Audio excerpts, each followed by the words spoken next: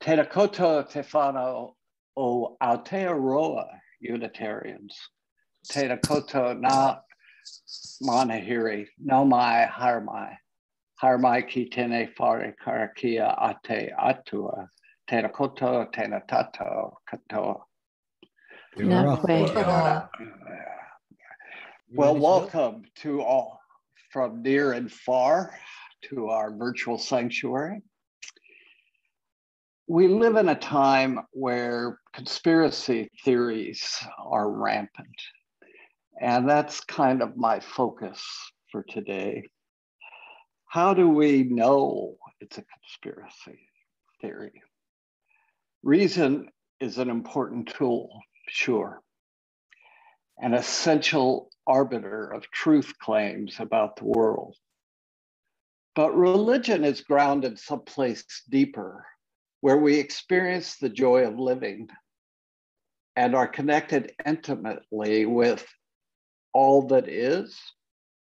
Religion is an entirely human experience, but one that we get in touch with using some pathway other than intellectual argument. In religion, we seek to address not just what is, but also what we and what we dedicate ourselves to. Rely on it to navigate the shoals of love and grief, confi- compassion and estrangement, gratitude and disappointment, and mystery and wonder.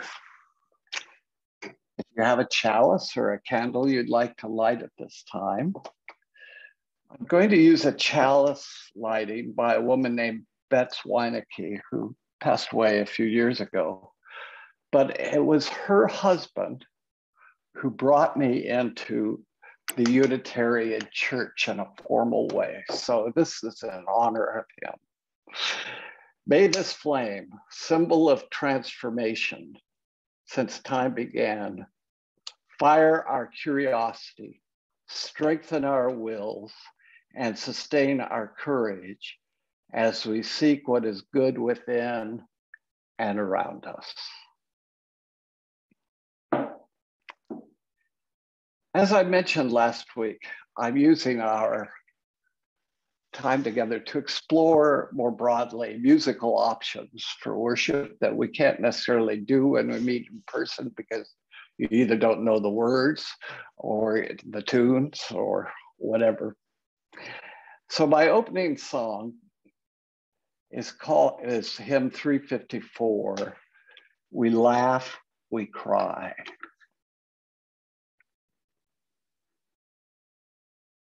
Well i light a virtual candle for actually of joy for how most of us in auckland are keeping to the rules because it seems to be working as we seek once again to eliminate the virus from New Zealand. Uh, I know it's not easy for us, uh, unless you're like me, an introvert, and thinks this is living the dream. But uh, it's it's hard yards for a lot of people, and I'm grateful to them for making that kind of sacrifice. And I light this candle also for those joys and concerns in our hearts and minds that are unspoken.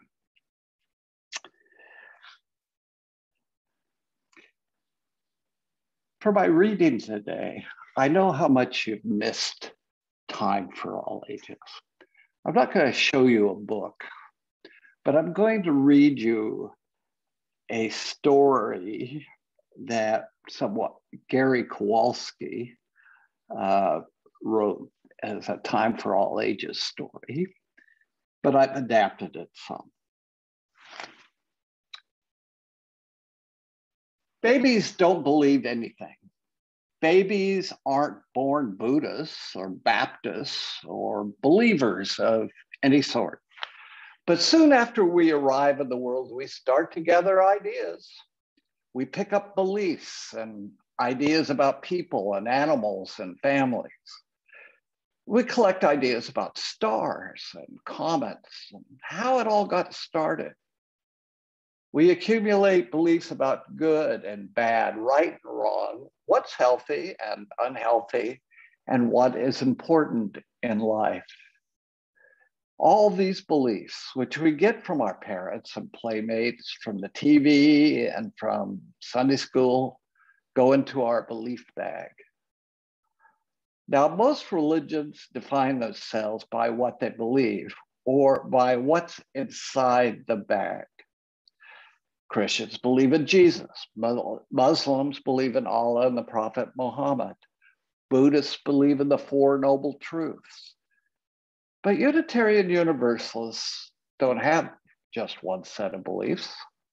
What makes us different is the way we Unitarian Universalists carry our beliefs, because there is there are different ways of holding your belief bag. For example, some people clutch the bag close and make sure the top is tightly sealed because they don't want their beliefs exposed to any new ideas that could threaten what's inside. They've got their world wrapped up in a nice, tidy package. On the other hand, some people are just the opposite. They don't pay much attention at all to what goes into their bag. Well, one idea is as good as another. And if other folks believe it, or if they read it on the internet, or heard it on talk radio, or Fox News, or Donald Trump, then it must be true. And then there are people who carry their bags like a club. They use it to hit other people. What's inside their bag may sound very nice and sweet. For instance, I believe in peace and kindness and the golden rule, but they use their bag like a weapon. You don't believe in peace? Why, you nasty person, shame on you. But none of those is the Unitarian Universalist way. Instead, we carry our bags with the top open so that new ideas and experiences can get inside, and old beliefs can be tossed aside if needed. We carry our bags in front of us so we can see it exist. Be sure it makes sense. It fits with other things we know and also so that we can see what our neighbors think and share our thoughts with others. Above all, we never use our beliefs to beat up or bully other people. People. That's what it means to be a Unitarian Universalist. The next time somebody asks you, what do the people in your church believe? You could tell them, for Unitarian Universalists, it's less important what you believe than how you hold your beliefs. It's how you acquire them, how you share them, and above all, what you do with them that counts. Sometimes a children's time story sums it all up for us. I have a song I want to play for you. It's by an English family mother, father, two boys, two girls. Only in this particular video, only the father and two girls are involved. They have done countless musical videos during lockdown in England, changing the words to old songs. Uh, and it, they're a delight. For your own amusement, and binge watching, if you go to YouTube and put in the Marsh family, you will get their full collection of uh, music videos. So if this doesn't work, you can go and uh, check it out later. Uh, and on the website with when Paul posts this service, that link will also be there. So this one is entitled Have the New Jab, sung to the tune of Hallelujah. So let's see what happens.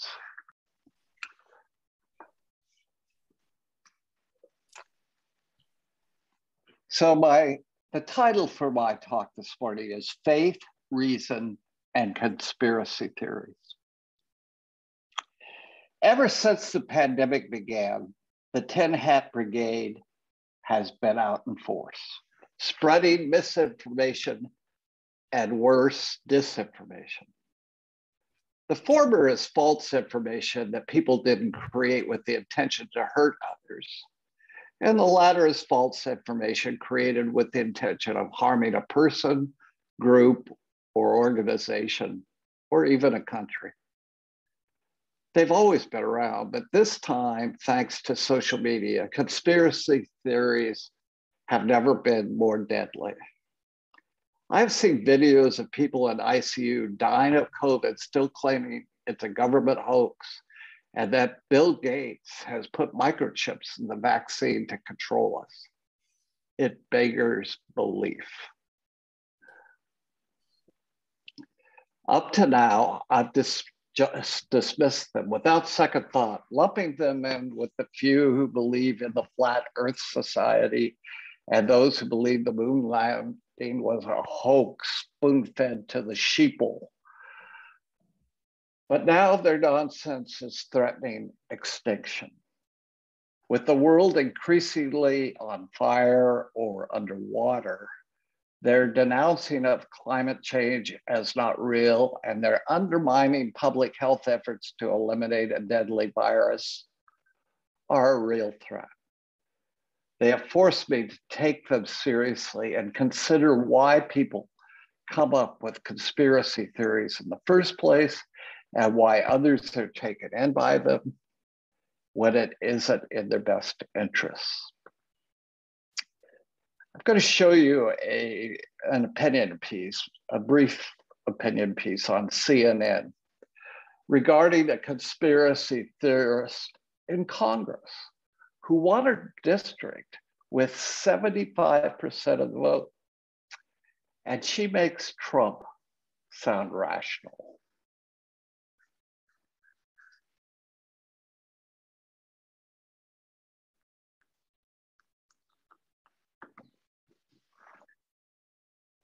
I am thoroughly sickened by what is happening in the country of my birth. I can barely make myself read or watch news from the US.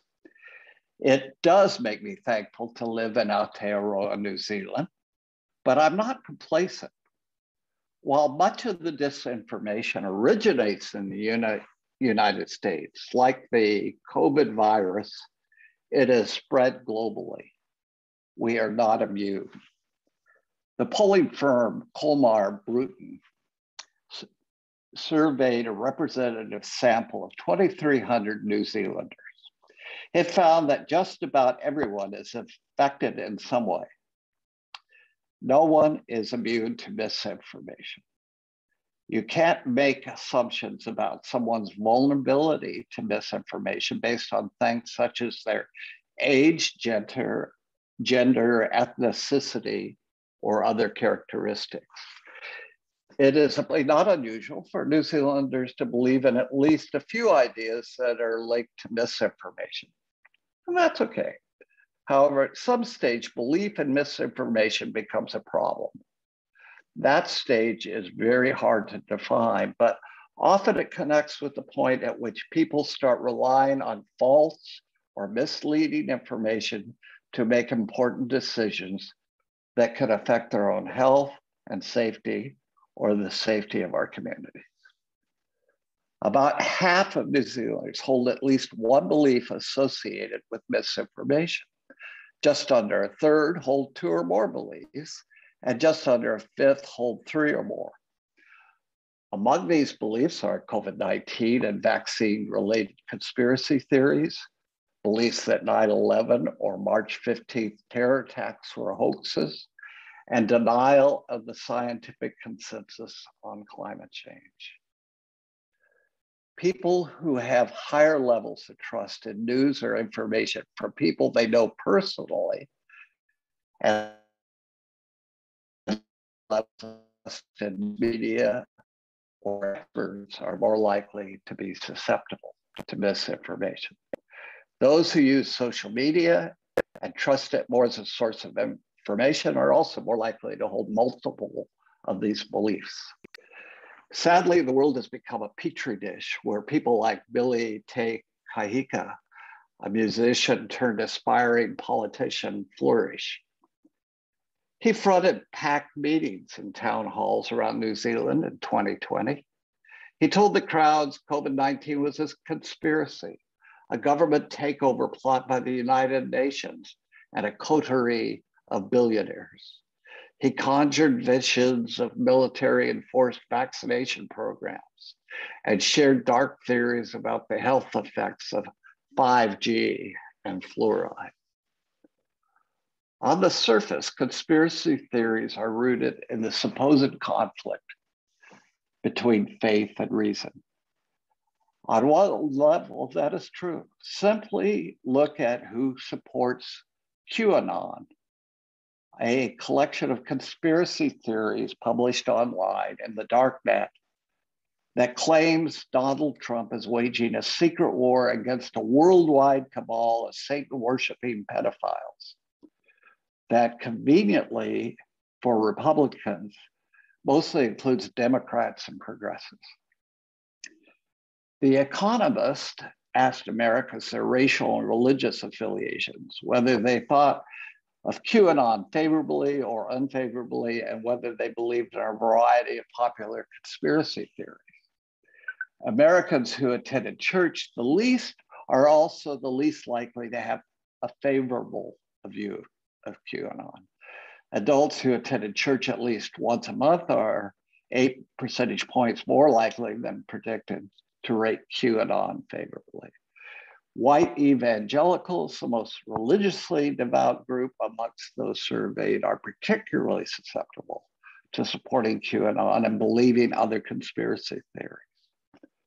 They also tend to, to attend church frequently. It's not enough that QAnon is busy corrupting Christian denominations. QAnon followers are forming a new religious movement the Omega Kingdom Ministry, or OKM for short, has a two hour Sunday morning service. It's, it uses an existing model of neo charismatic home churches, an offshoot of evangelical Protestant Christianity that is made up of thousands of independent organizations where QAnon conspiracy theories are reinterpreted through the Bible in turn, QAnon conspiracy theory, theories serve as a lens to interpret the Bible itself. Their objective is to train congregants to form their own home congregations in the future and grow the movement. On its website, OKM references the seven mountains of societal influence Seven Mountains utilizes the language of dominionism, a theology that believes countries, including the United States, should be governed by Christian biblical law. Its goal is to attain socio political and economic transformation through the gospel of Jesus in what it calls the seven mountains or spheres of society religion, family, education, government, media, entertainment, and business.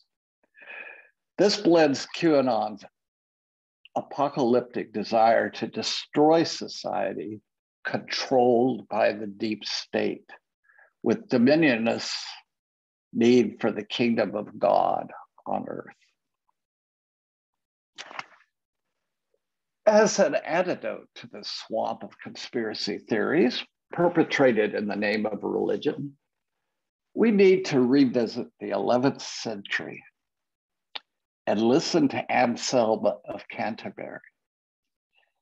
Anselm thought deeply on the relationship between faith and reason. He concluded that faith is the precondition of knowledge. His Latin phrase was credo ut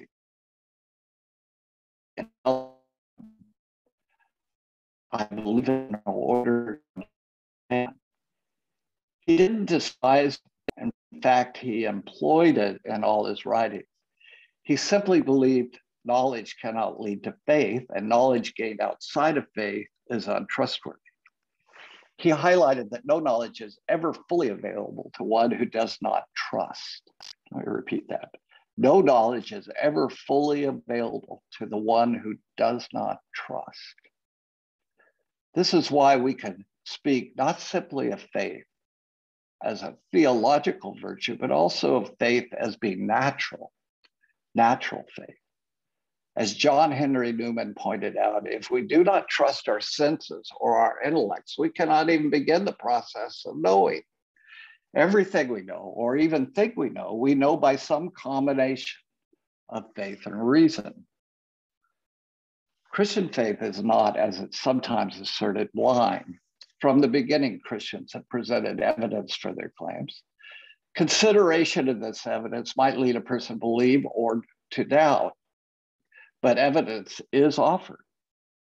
No one is invited to believe without reference to some argument that belief is reasonable. But evidence does not compel belief. Instead, it makes the choice of where to put one's faith clear. Reason clears the ground for faith. Scientific knowledge is not, as is sometimes asserted, purely rational. Instead, it relies on certain unprovable, unproven or even unprovable presuppositions. Indeed, science only ever emerges in a culture that takes for granted things like the possibility of a true correspondence between the human mind and physical reality. Such natural faith does not do the work of science. It is the foundation that makes science possible. One reason why modern science emerged when and where it did in world history is precisely because medieval theologians had spent centuries considering, carefully considering, and, and articulating the roles of faith and reason in human knowing. Christian theology produced epistemological prerequisites for the development of science. It is not surprising then that Copernicus, Galileo, Newton, and Descartes were all people of strong faith. Faith will have a role in human knowing for good or ill, but that role is much more likely to lead to knowledge of the truth if it is acknowledged. At the root of conspiracy theory thinking is often precisely this refusal to acknowledge one's faith commitments. For instance, humanism is a faith commitment. But in conspiracy theory thinking, this takes on a kind of inverted form. The conspiracy theorist on your local media feed is at one and the same time both the loudest in their assertion to be a critical thinker and also the least likely to have their mind changed by evidence. A critical thinker is skeptical of various claims made by all kinds of media outlets. It is healthy and necessary to double check claims, investigate sources, distinguish between fact and interpretation. This is what conspiracy theorists imagine themselves to be doing. In reality, however, the conspiracy theorist has crossed the line from healthy skepticism into unhealthy suspicion. This leads to the ironic situation, which they reflectively reject any and all facts that do not comport with their preconceived notions and accept almost any claims at all, even mutually contradictory claims, provided that those claims counter what they take to be the mainstream narrative. As a people of faith who hold reason paramount, Unitarians need to seek ways to turn this tide that threatens our families, societies, and the planet. But how? Entering into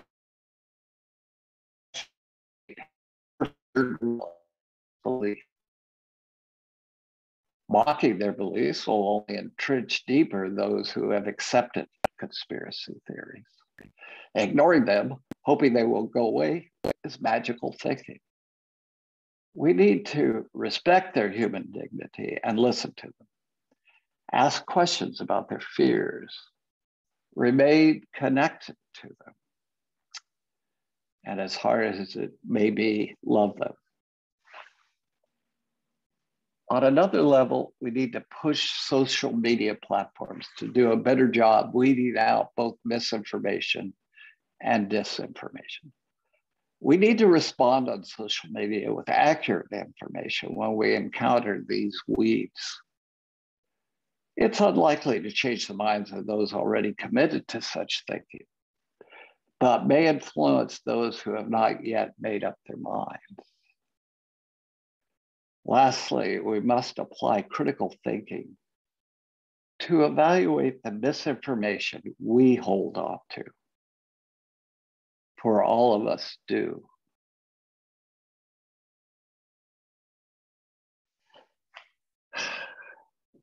Not a particularly joyful music. And to capture that fact, let me play this.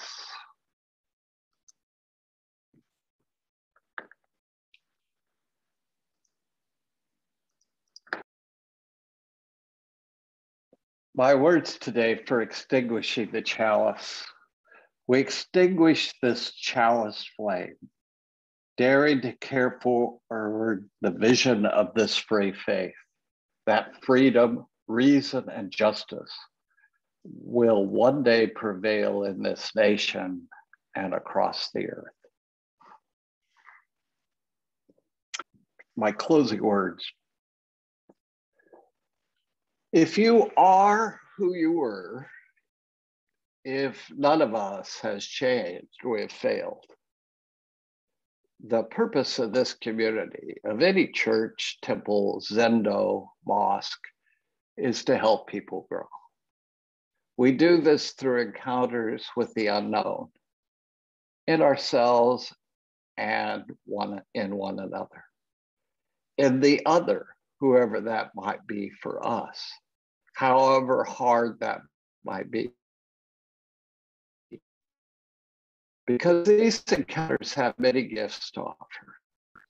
So may you go forth from here this morning, not who you were, but who you could be. So may we all. And now I'm going to send you off into uh, small groups. And here's your con- conversation starter. I saw on Facebook a quote by Abraham Lincoln who said, Don't believe everything you read on the internet. Have you ever accepted misinformation as true and passed it on? Be specific if you can.